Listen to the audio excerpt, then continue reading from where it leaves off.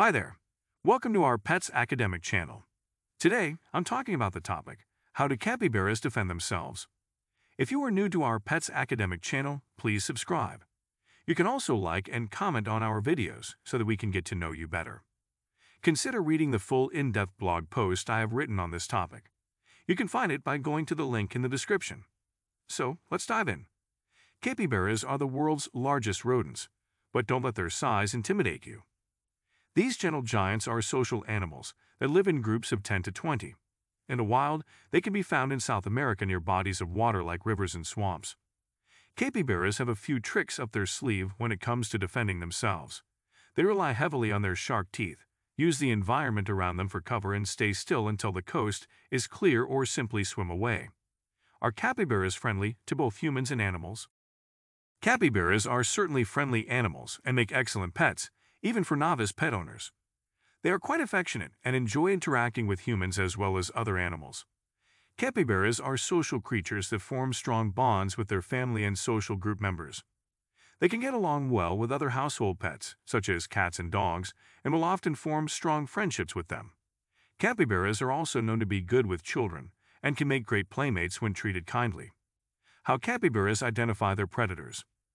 Capybaras are very keen to identify and remember any predators that may threaten their safety. They have an incredibly sharp sense of smell and excellent hearing, which helps them detect potential danger. They also recognize the sound of a predator's footsteps from far away, so they know when to hide or run away quickly. Capybaras also employ a number of other behaviors to stay safe, such as forming herds for protection and being vigilant in their environment. When they feel threatened, capybaras can also make loud warning calls that will alert the rest of the herd to danger. Knowing who their predators are and how they act is an essential part of survival for these animals. What are the predators of capybaras? Capybaras are a peaceful species of rodent that live in South America.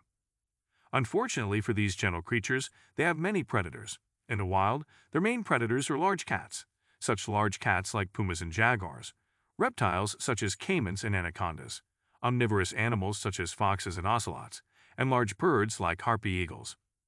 Humans are also a major threat to the capybaras, as their habitats have been shrinking due to deforestation and other human activities. As a result, many of them have become easy targets for poachers who hunt them for their meat or fur. In the full blog post I have written on my website, I have done hours of research and I have written much more details about the above topic and subtopics.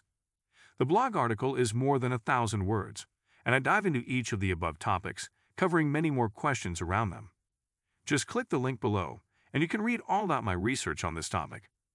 See you inside the blog post, and let me know if you have any more questions in the comments below. Have a great day, and thank you for checking out PetsAcademic.com.